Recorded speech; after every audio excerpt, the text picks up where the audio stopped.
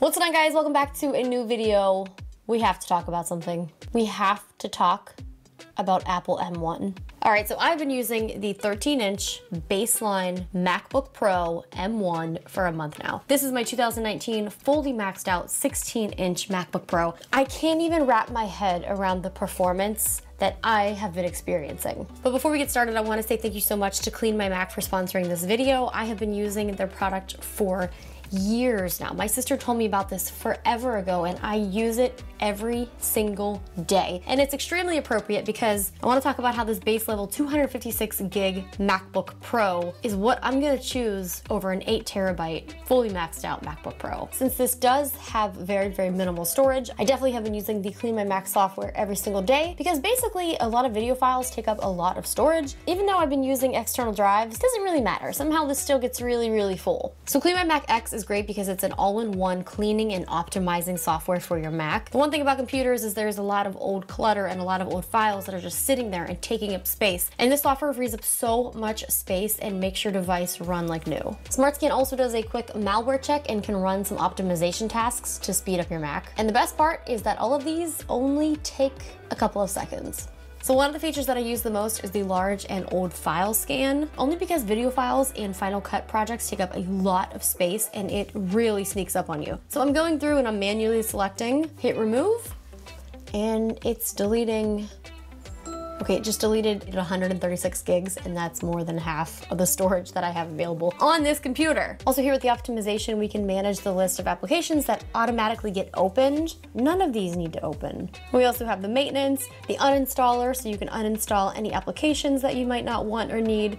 So I think you guys get the point. This is something that I swear on. This is something that I use every single day. And I promise you that if you are a Mac user, you will not regret it. It's going to speed up your computer and you're gonna find files where you're like, I had no idea this even existed. So if you do want some more information or you wanna check it out, there's a link in the description you guys can download.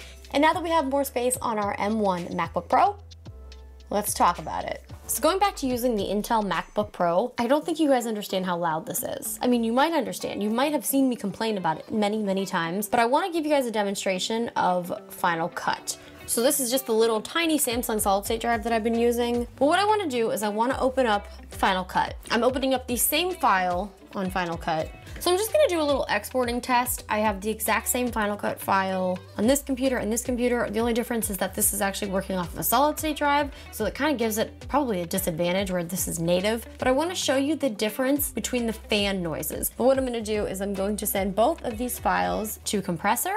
Okay, here we go, start. Another thing that's kind of a bummer is how hot the Intel MacBooks get. There's actually times that this has burned me, if it's compressing or if I just have way too many things open. This gets so hot and I just don't think that that's ideal for any type of MacBook situation. Okay, the fan is running. I'm gonna take off my microphone and you can hear the difference between these two MacBook Pros, one with Intel and one with the M1 and how loud this is.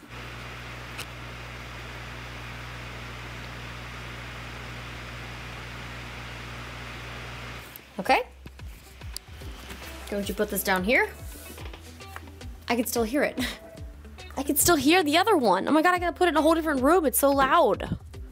All right, and here is the M1 doing the exact same thing.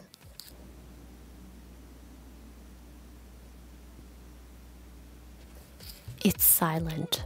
No, this isn't a very official test. Obviously, there's uh, different variables but you guys heard how loud that fan is? So this I think is my favorite M1 story. I was trying to do um, Zoom calls, which were being recorded on both sides, my side as well as the brand side. This was for a sponsored project, like probably the biggest project I've ever done. And I was like, oh, I need this to be professional. And I wasn't able to fly to where they were shooting. So I had to do it here all myself in my office. So what needed to happen was I needed to have Zoom as well as my camera with the cam link so that I could have a professional camera while also having this attached to a bigger monitor. I was using the 16 inch Intel MacBook Pro and it was so loud and so distracting through the fans because you could hear it. You could hear the fan. I'm like, there's no way that this is gonna work. So I switched to the M1. I was doing Zoom. I was running the Cam Link. I had open PowerPoint. I had open so many things. And for five hours, I never once heard a fan. Honestly, my $8,000 MacBook Pro was unusable because I couldn't use it unless I had it in a different room. But I'm like, I need it in my room. Until I've used this M1 MacBook over the past month, I didn't realize how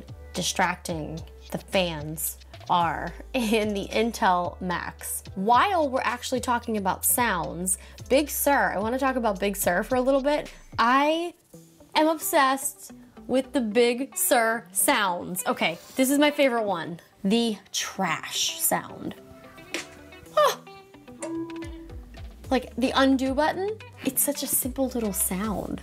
All of the little sound effects are so cool. What also is really cool about Apple M1 is that you can now use iPad OS as well as iOS apps. And I have been having a very fun time with Nanoleaf. So these are the Nanoleaf ones that I have in the corner. I can kind of just change them by hitting this app and changing the colors, which is an iOS app, but I'm using it on my M1. I'm also really surprised I haven't had any issues with Big Sur. This feels like it's been one of the smoother software updates. Also, Photoshop, Lightroom have all been running really great. Obviously, this is the Intel version running on M1 and it runs perfectly fine.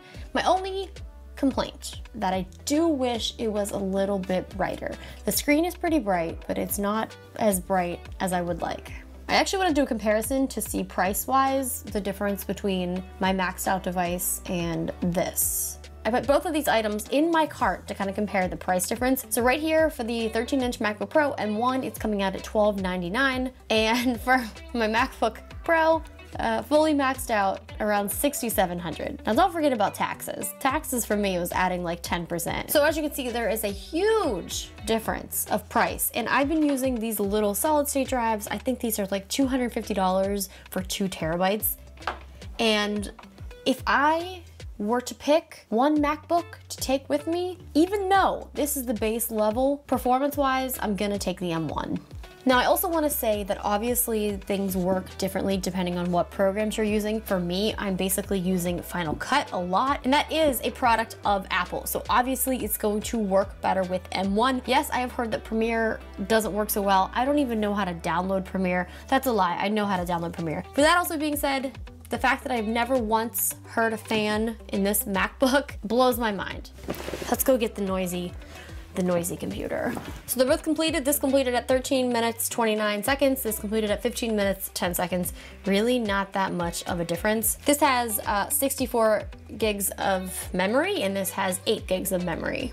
And this sounded like it was going to take in a spaceship the whole time. So that's just how I've been using the M1 in the past month. It really has been a game changer for me. Also, I know this video is sponsored by Clean My Mac, but I just, I love them so much. So thank you to them for sponsoring this video. And it really has been making my life on M1 with only 256 gigs of storage basically possible because I'm constantly getting rid of things I don't need. And even though I am working off of solid state drives, it still gets really, really full very, very quickly. Anyway, thank you guys so much for watching this video. Like I said, there's a link in the description if you want to check out Clean My Mac. Let me know what you guys think. Are you on board the M1? What do you think is next for Apple? I didn't even talk about those, but I did post a video if you want to check that out as well. I will see you guys again soon. Make sure you subscribe.